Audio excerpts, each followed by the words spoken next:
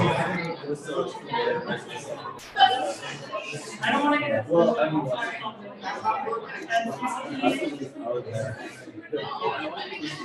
Oh? Yeah, you know, I mean, what is it? Oh, I mean, yeah, what is it? Of difference.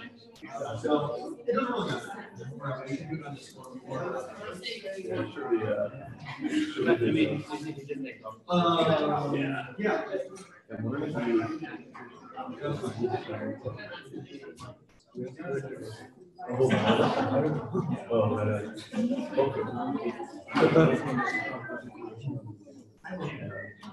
Should be fun though. Welcome back, everybody.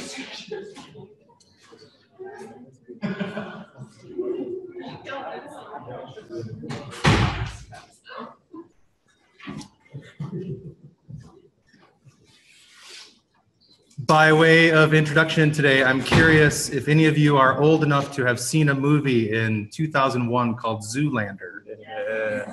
What do you mean? What was that face? Uh, some of you seem insulted that I would think you were that young. Um, it's hard to judge once you become 45 or so. Um, so I would love to begin with I think it is um, a wonderful, over the top way of getting into. Has anybody here heard the phrase, all models are wrong, some are useful? I didn't do my diligence to look up who said that, but it's been said that all models are wrong, some are useful. And so to get into the extreme of wrong, here's a little snippet from Zoolander.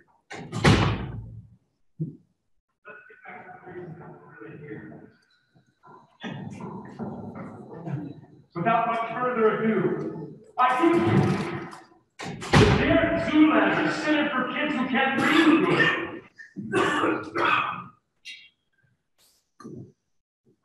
Good. What is this? A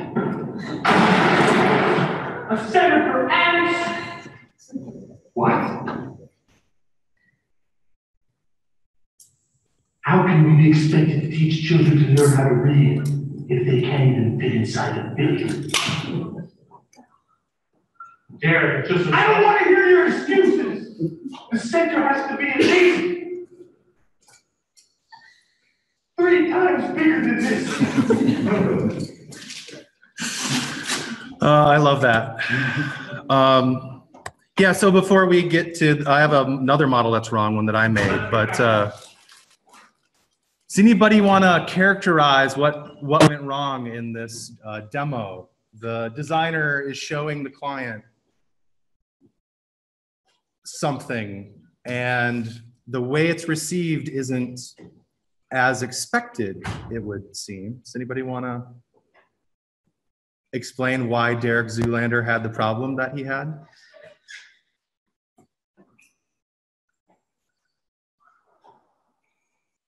Well, as far as models go, this is pretty high fi, right? And I think that is something important for us to keep in well to keep in mind always that depending on what you're trying to accomplish, the kind of model that you would use, the level of fidelity that you would use, uh, is not a slam dunk. There is not a right or a correct answer, probably, because these models can all be, can vary so much in the level of abstraction and in the level of fidelity. And this model was perceived as uh, a picture of an end state. And I guarantee you that as people working in UX design, especially at the upfront part of a project, if you get to work in terms of architecture, which many of us don't have that opportunity, but there's plenty of UX work going on at the start of a project. The difference between a pictorial model, a picture of an end state model, and what I think at this point in the project development should have been a rhetorical model, a model that's making, this is the first time Derek has seen, presumably, what this Center for Kids Who Can't Read Good is supposed to be like. And if this model had been making an argument, uh, there used to be this, this tradition in architecture in the built environment where architects had to learn, and in some cases they still do. Uh, mostly it's digital now, but it used to be that balsa wood and little sponges put on the end of, of tiny little straws to represent trees, that there would be a way to render a model that is making an argument for what it should be, that isn't a picture of what it will be. And I think that is essential, and that is some missing value in the ecosystem of how UX work gets done. The rush to super high fidelity prototypes uh, people wanting to think in terms of an end state, a picture of an end state. And at this point, we're making models um, in terms of architecture that are supposed to be making an argument, not saying, not promising this is what it's going to look like. And, and one of the reasons to think about this distinction, I believe, is shown in this film. Derek was made a fool. I mean, he's already a fool. But this uh, designer was not being humane to the client client didn't know what he was looking at and the the adding insult to injury the it has to be at least he's trying to think of the scaling rule three times big it still wouldn't be big enough if it was it's he didn't know what he was seeing he wasn't set up to appreciate what kind of a model is this. And uh, so that's one way that models are wrong. But then we also the second part of the quote is that some of them are useful. Um, if i can ever get past this video. Here is a model that some people have found useful uh, that I came up with in 2010 for thinking about information architecture. And I, when I came up with this, there was a contest that was sponsored by the IA Institute and funded by Peter Morville to encourage people to come up with better ways to explain information architecture. This was my entry in that contest, contest and it's had a little bit of traction and where what I wanted to do was come up with a model that would encompass all of this great stuff that I've come to learn about the work of Richard Saul Wurman and architecting information prior to the advent of digital. Uh, what I've realized recently in starting to learn in my really dumb way the kinds of things that I want to learn along with you in class this term about AI, that this model is exactly in the heart of what's going on with artificial intelligence. And the stuff that you'll start doing with, you'll be doing in your groups today um, is trying to come up with models. And those of you who were in class last week, I thought it was a real treat to be shown this exceedingly simple way to model an environment. And uh, my contention is, is that if we learned this language together, this modeling language, this approach to the right level of abstraction to start making some arguments about the way something ought to be put together that uh, this is going to position us well to do crucial work for those of us who want to get involved with ai machine learning uh, all of that kind of thing.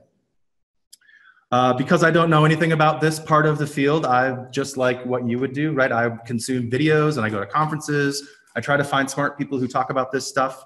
And carol smith uh, who works at IBM, gave a talk at Midwest UX a couple months ago that I watched. And I was in the way that uh, if you fancy yourself to have come up with a good idea, to see that that good idea can uh, interact with, catalyze with other good ideas, to see that the two pieces of this three part model that I like to use to talk about information architecture, that this is absolutely how leaders in UX who are addressing machine learning and artificial intelligence, this is how they're talking about it too. So I don't believe it's that big of a stretch to talk about IA as an essential pretext to AI. And that's a terrible thing to try to keep track of the A's and the I's. But I believe that that's how it works, that there needs to be architectures of information on the front end then of training uh, creating, developing artificial intelligence. And this is not, and I love this note, and you should definitely watch her talk. There's a link to it in the slide. Um, this isn't how humans learn. This is how we've come to teach machines to learn by using things called ta- taxonomies and ontologies. And uh, she doesn't uh, perseverate on those big words in her talk. It's a very accessible talk. And instead of talking about those things a lot, she what she boils it down to here, I think this is where it sort of connects up with this object-oriented modeling stuff that, that we've learned, is that this is, you could call it annotation, you could call it modeling, but that we're getting at ground truth, that there's some combination of ontology, what things mean, and taxonomy, which are ways of arranging things. And in the case of these systems, it's often language that's being arranged. That what we're doing in terms of uh, creating and helping make good artificially intelligent systems is helping to tell the truth. And uh, I think that's marvelous. And I think that maps directly into what people like Richard Saul Wurman, Chris Alexander, uh, the architects that we're using in this class this term are very much interested in using architecture to tell the truth. And uh, I'm pretty excited about that too. Uh, there was a reading for today. I'm curious if anyone had read Invisible Cities by Italo Calvino in another course. One of us, two of us? Uh, there are a lot of reasons why I wanted you to read this. Uh, on the basis of beauty in literature alone, I think it's interesting. Uh, in terms of this being co-emergent in a really funny way with the work of Richard Saul Wurman. 1972 was a very important year. It's the year of my birth. And uh, this book, Invisible Cities, came out in the same year that Richard Wurman was doing a conference called The Invisible City, which was the International Design Conference at Aspen. He was the youngest board member of that organization, and he was asked to chair the conference in 72, and he chose to call it The Invisible City. And these two works, uh, uh, Wurman made a book called Aspen Visible as one of the artifacts of that conference. There's also a special issue of Design Quarterly much like the hats thing that I had you all look at, he did another full issue of that magazine uh, called Making the City Observable.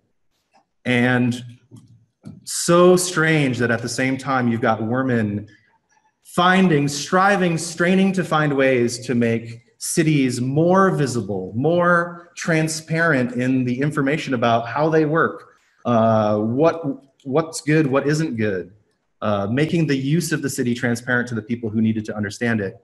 And at the same time, we have this strange work of fiction where cities, you start out thinking it's cities, plural, are being described in some of the most wonderful ways. And through this spoiler alert, uh, eventually you find out that all of the, it's about Kubla Khan and Marco Polo.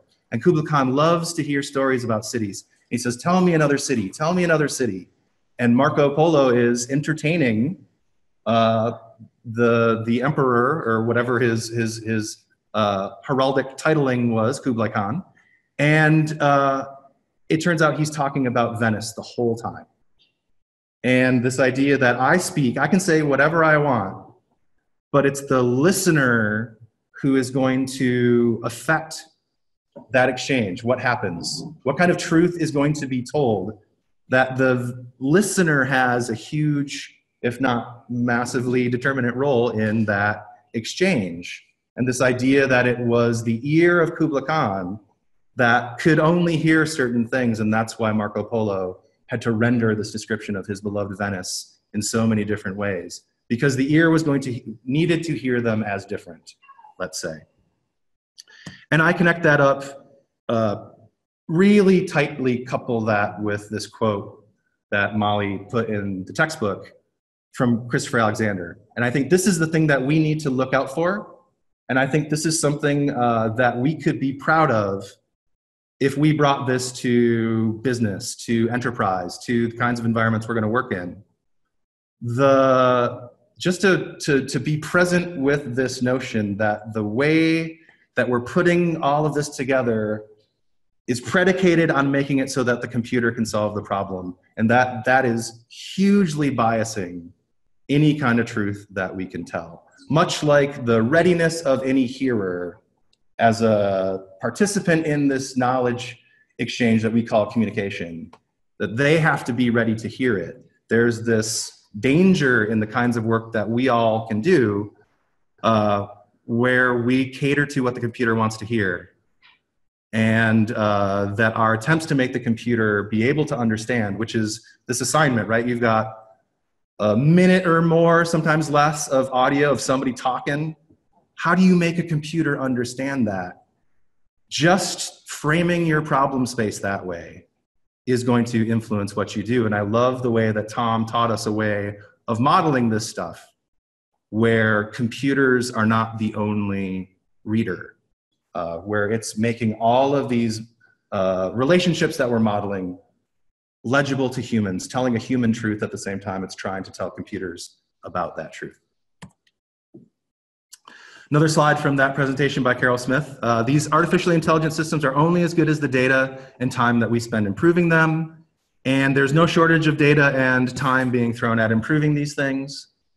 Um, and here's the, the thing they get biased based on what they are being taught. I'm, i think there might be a typo in the slide, I'm not sure. But I will uh, verbally amend it to say these things are biased based on what they are taught.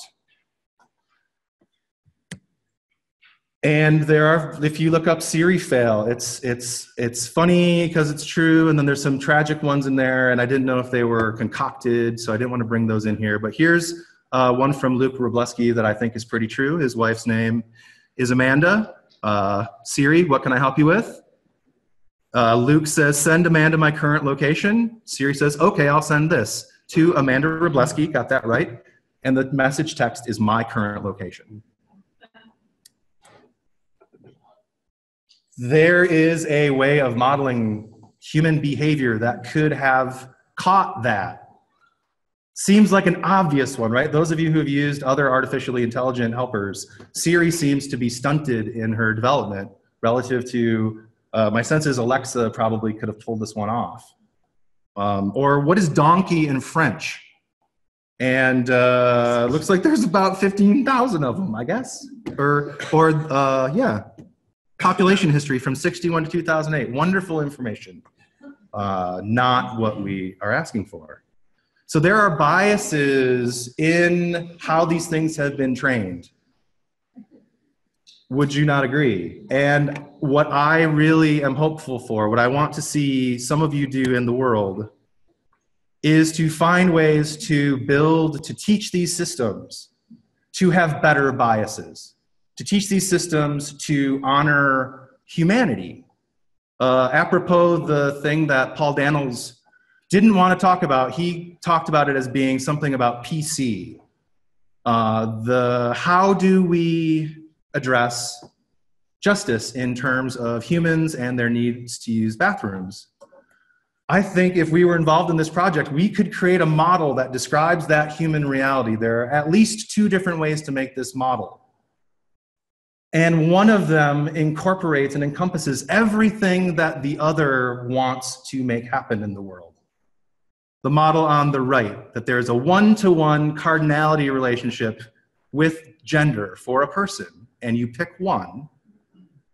If we set up an object model, if we were helping build a computer world that is attached to the physical world, if we chose to set that up to tell the truth about the environment, as a person has gender. And the cardinality, it's a one to as many as we like. Uh, both of these could be formalized, codified into the system. This is the sort of thing that would teach an artificially intelligent system how to think about the world. For any of you who have tried to make a little tiny improvement to a website form, to change a binary gender form to be something other than that and have been told no, this is a picture of one of the reasons why. Somebody made a model of the world. All models are wrong, some of them are useful. The one on the left is more useful. It can do what the one to one mapping people uh, someone like Paul Daniels, let's say, I, I don't know for sure that that's his belief, but say that it is, everything that he wants to accomplish can be accomplished by the one on the left, not so the other way around. And at the level that we would be working at, who would be anticipating this? At this very low level of object description, that we would be, and I loved, uh, some of you may have heard it, Tom said it as an aside last week. Software, all that is, all software is, the code that people make off of this, is formalizing and adjudicating policies. That's all software is. Um, you could say the same about the built environment, the way that Paul was showing it to us.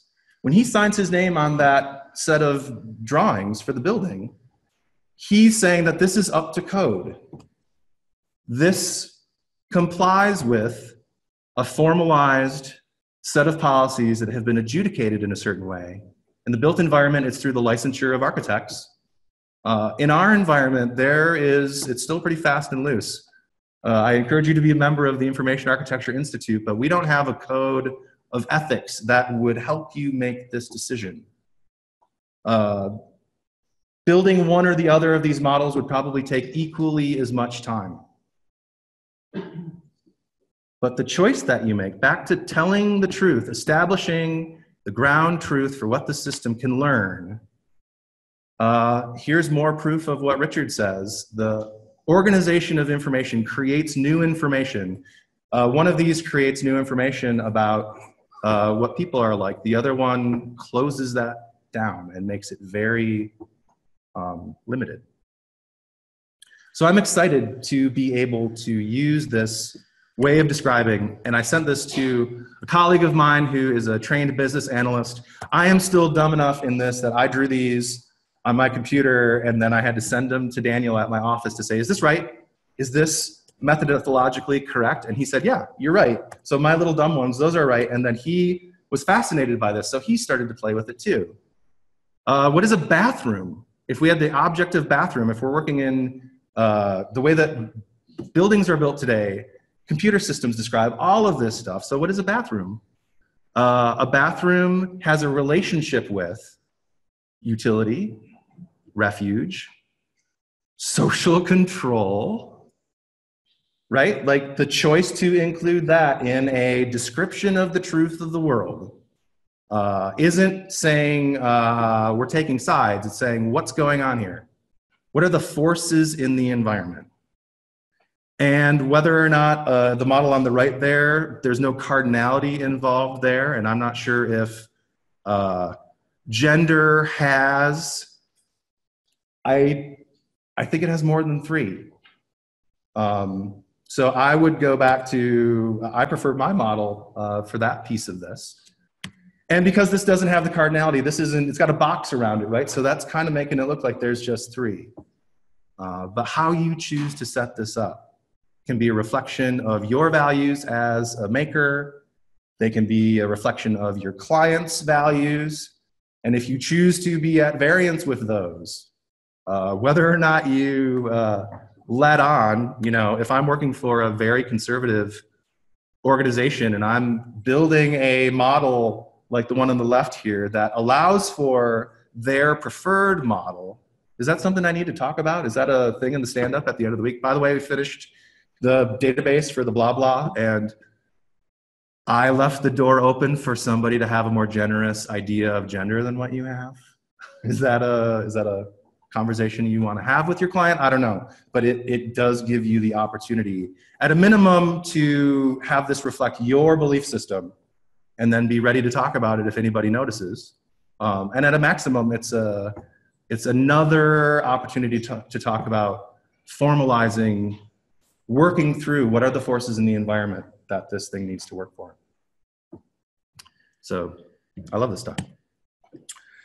Um, yes, and those of you who read to the end, so after Marco Polo uh, lets Kublai Khan uh, in on this his secret, he's been talking about Venice all along. Then somehow they're flying through the air, or no, they're they're looking at a, an atlas of all of the territories that Kublai Khan has conquered, and one of the territories on the map is the uh, uh set of concentric cir circles described in Dante's Inferno.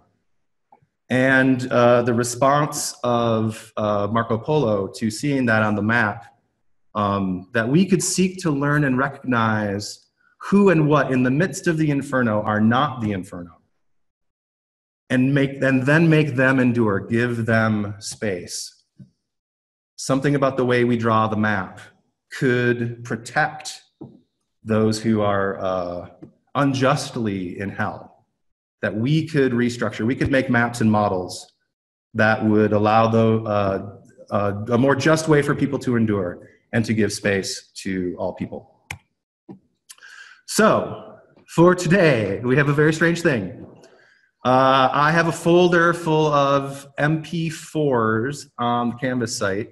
Each one of those is named for your group, and each one of those is screen video of me recording my Audible player, playing snippets of audio from a Twin Peaks uh, Agent Cooper talking into his microphone. So I'm going to invite you after we take a very quick break. If we're not sitting in groups, let's sit in our groups. And then uh, I will play